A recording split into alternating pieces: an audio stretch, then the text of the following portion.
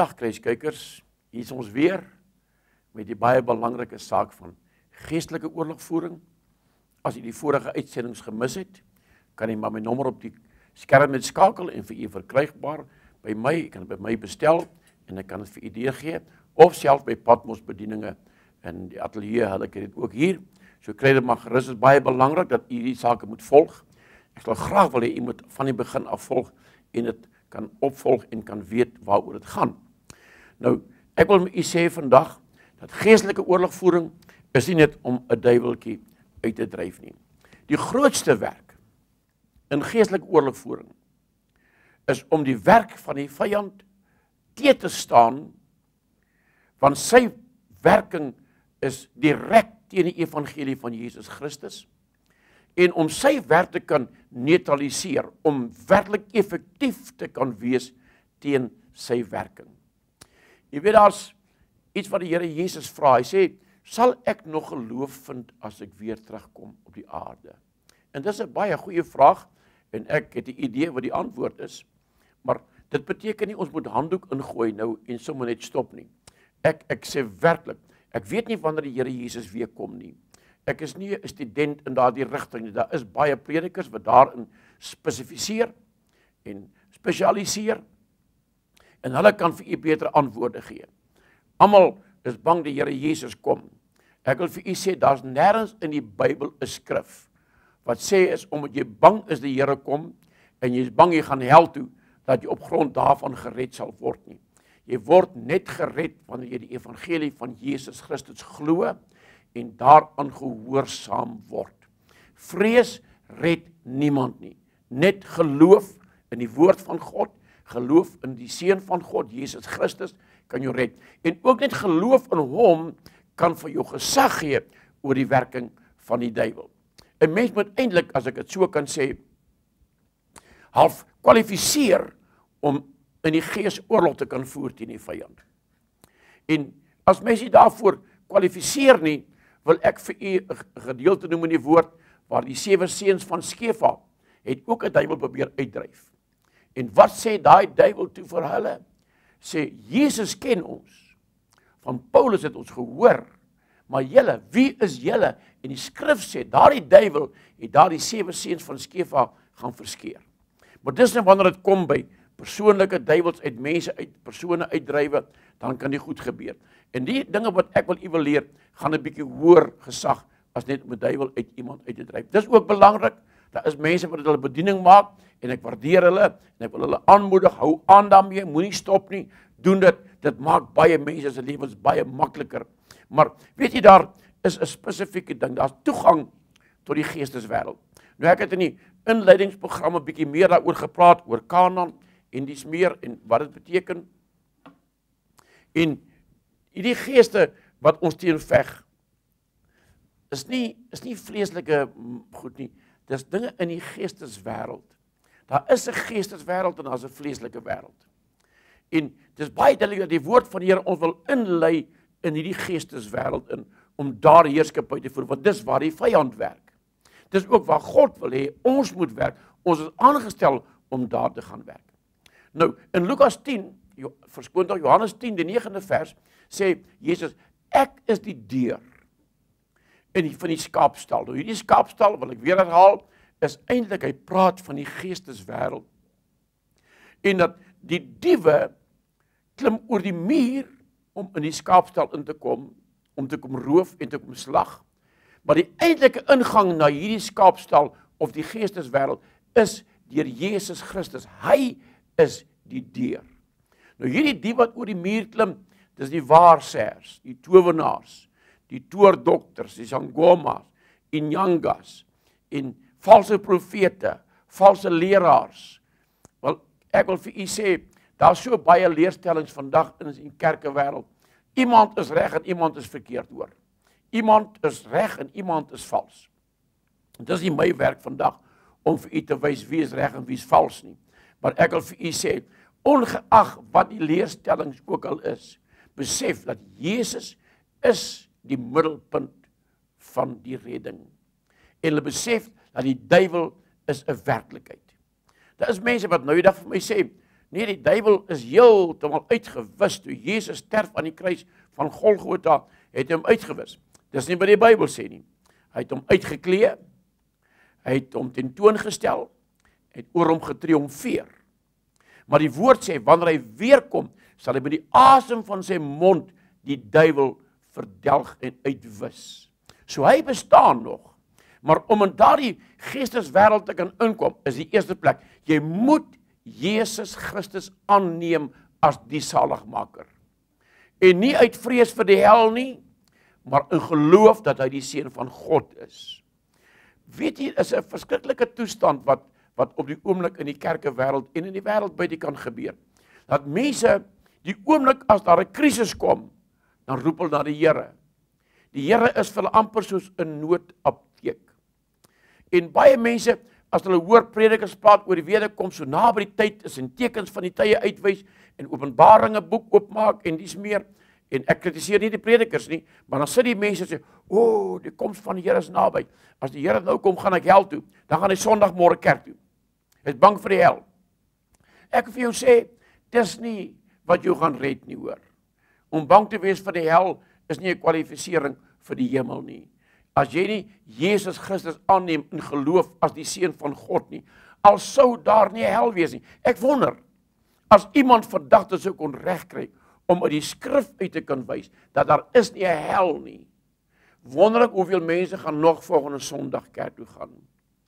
As jy ag as daar nie hel is nie, hoekom moet ek die Here dien? Baie mense dien die Here uit vrees vir die hel. Dis heeltemal verkeerde motivering. Jy moet die Here dien uit vrees vir die groot God, uit respek vir hom en jy moet Jesus aanvaar as God se saligheidsplan. Die woord van die Here sê God het homself met ons versoen. Ons het onsself met God versoen nie. Hy het hom met ons versoen en sy offer vir daardie versoening was Jesus Christus aan die kruishout van Golgotha wat sonde vir ons geword het en daar het hy sonde vasgenaal sodat elkeen wat aan hom glo se sonde wegval. Nie vrees vir die hel en vrees vir die duiwel nie, maar glo dat Jesus die seun van God is. Dit is die kwalifisering as jy dit kan glo.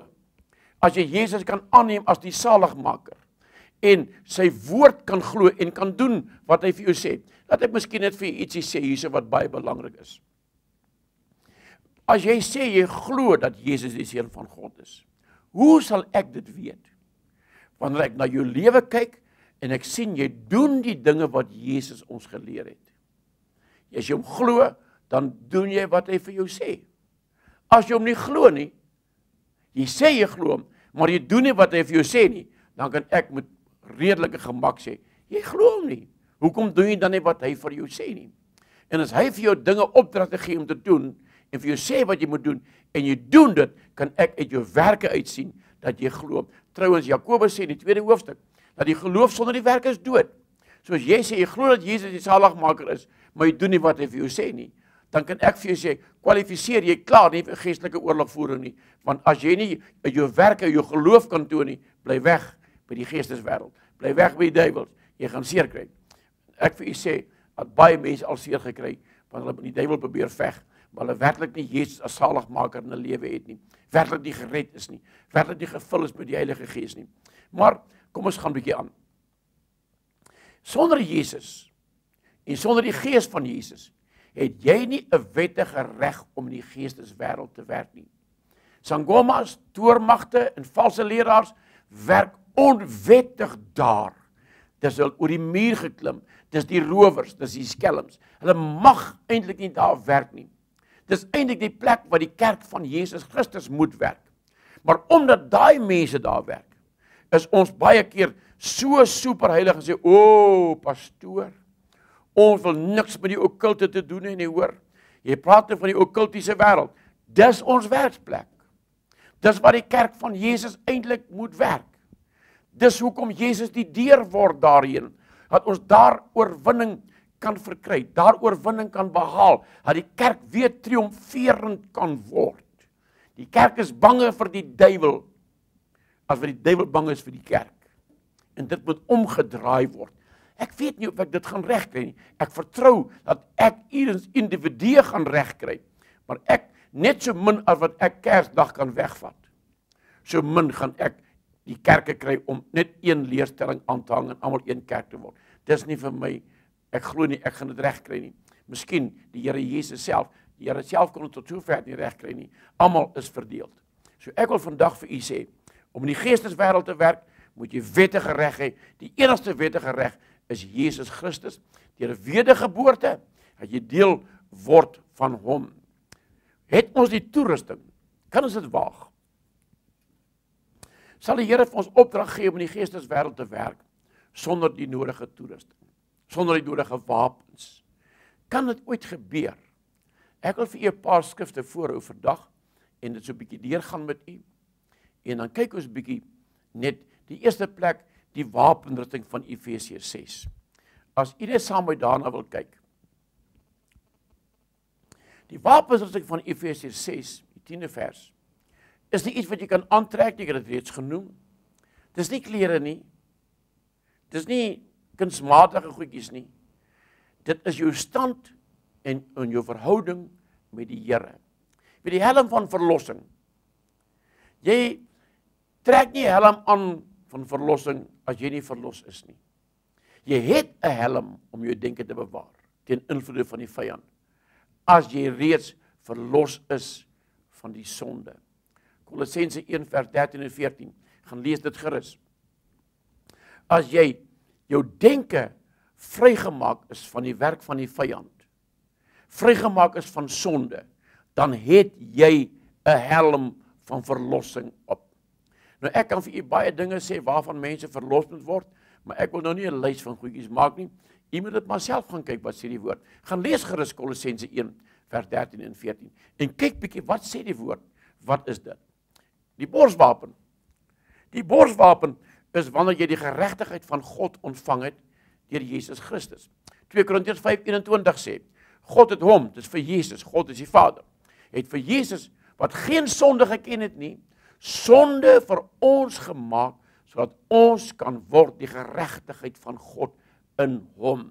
Weereens sonder Jesus het jy nie 'n borswapen van geregtigheid nie. Die woord geregtigheid beteken eintlik in die regte verhouding met God te staan. Jy kan net met die regte verhouding met God staan as jy met hom versoen is. Jesus het die versoeningsoffer gebring sodat ons in die regte verhouding met God kan staan. So jou borswapen van geregtigheid is nie 'n dingetjie wat jy aantrek in die oggend nie. Dis die regte verhouding met God, die Vader. Weet jy daar's 'n skrif Romeine 8 vers 9 die B gedeelte sê.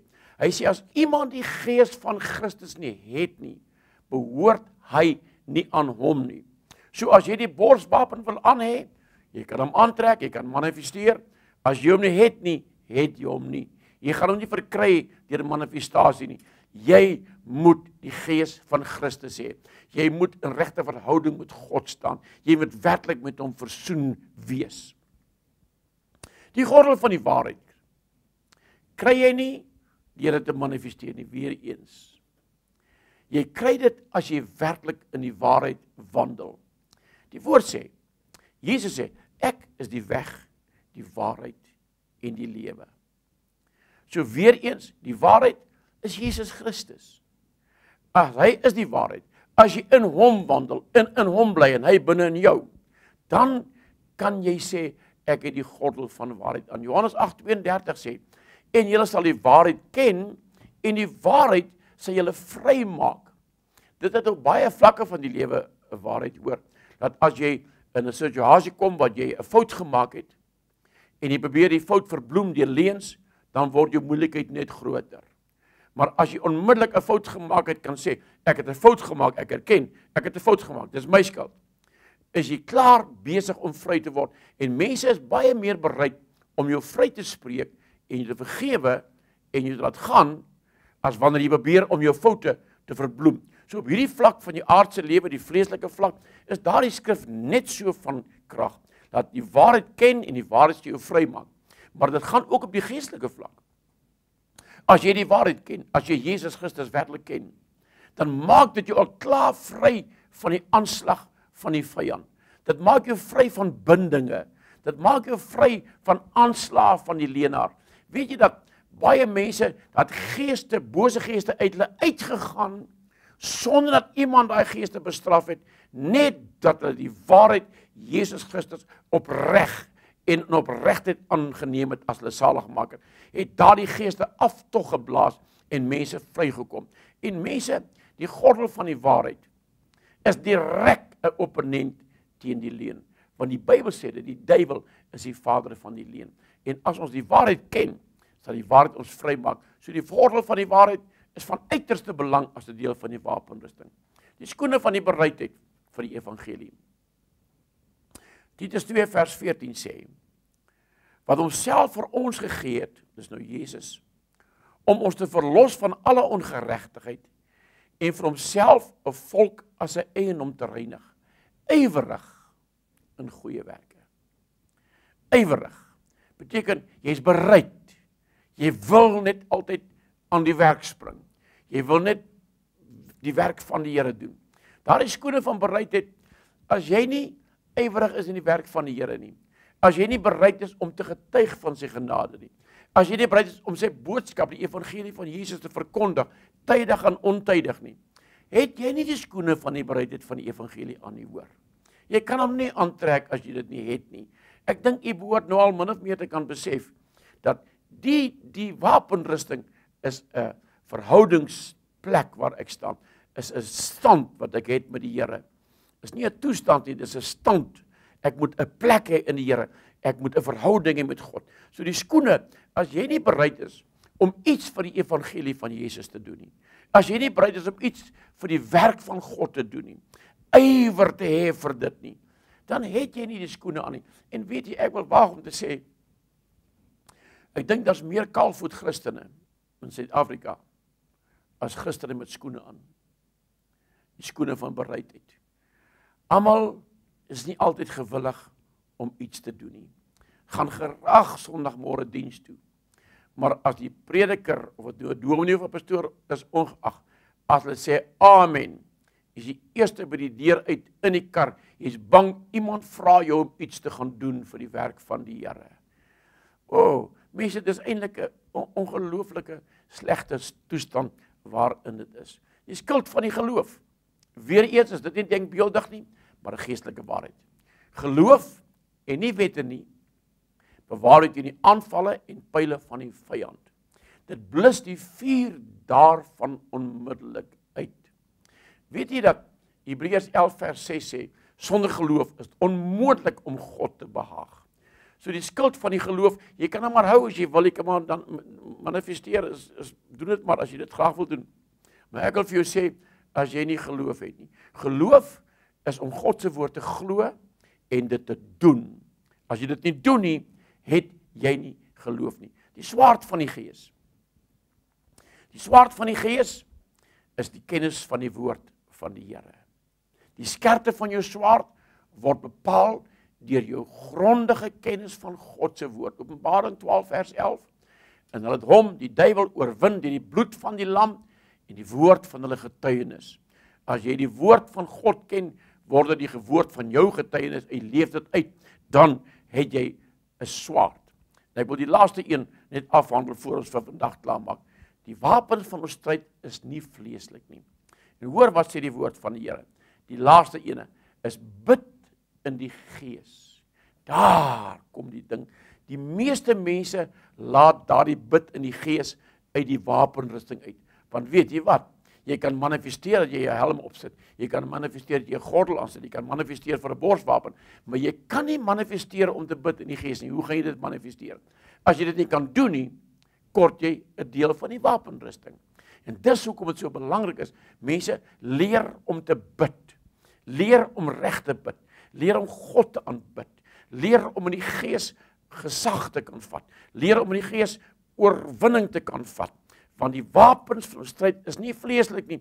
Hierdie wapens is nie vleeslike wapentjies wat jy kan aantrek nie. Bid in die gees. Beteken dit met 'n vreemde tale bid? Nee nee. Bid jou gees. Bid in lyn met wat die gees van God. Dis waar dit vandaan kom wat mense sê, die gees van God lei my om so te bid. Dis wanneer ek in die gees bid.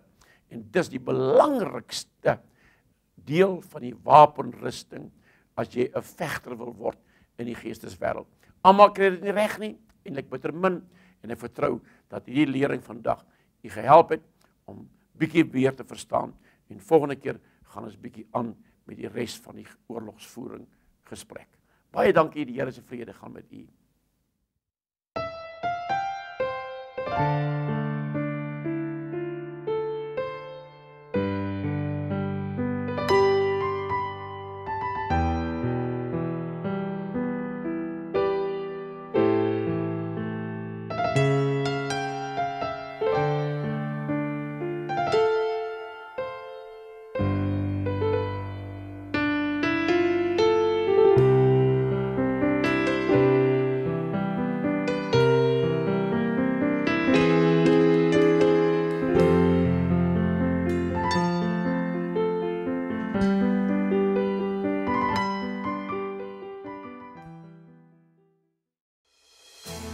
Het jy al ooit gewonder oor wat dit prakties beteken om van Jesus Christus te getuig?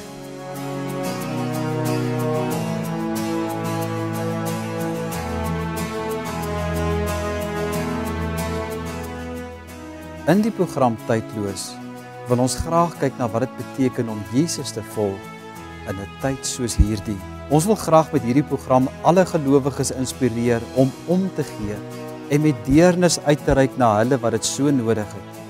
Onthou die evangelie van Christus is die goeie nuus wat vir alle geslagte tydloos in waarde is.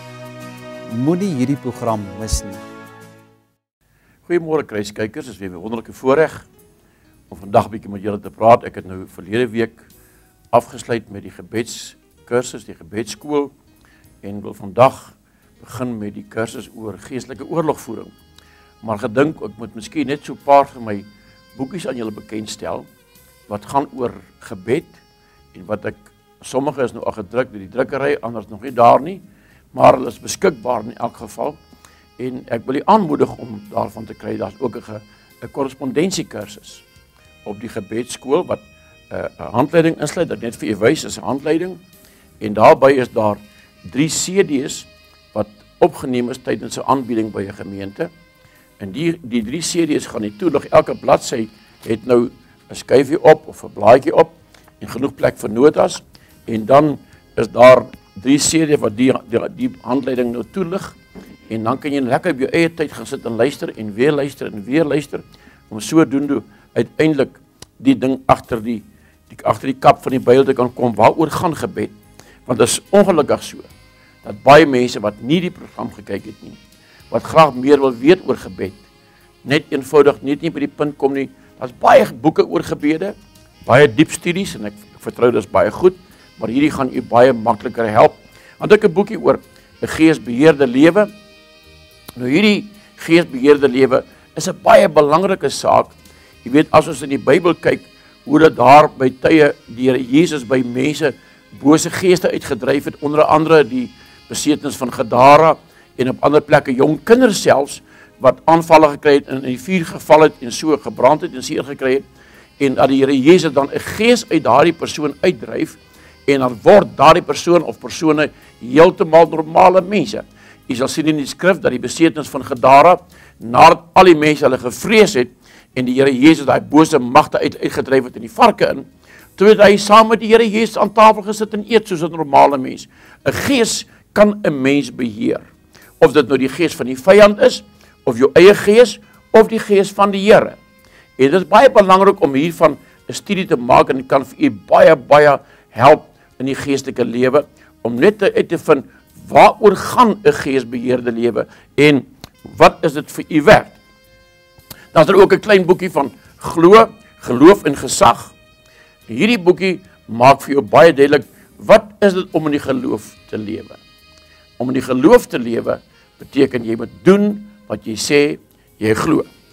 En dan het ons ook 'n uh, gebedskoolboekie waar daar 'n uh, oorlogvoering kursus op is met 3 CD's weer eens en u is baie welkom om dit by my net te bestel. My telefoonnommer gaan op die skerm verskyn en ek kan vir u daarvan voorsien en die prys daarvan weer gee.